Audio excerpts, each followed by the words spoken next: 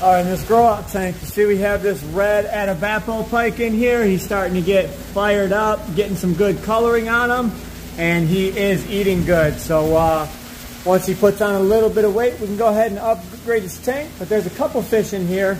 Gotta find a new tank for this golden Dorado, if he quit moving so fast, because he is mammothing over the size of the other gold Dorado in here. Starting to pick on him a little bit, so I want to find him a new tank as well.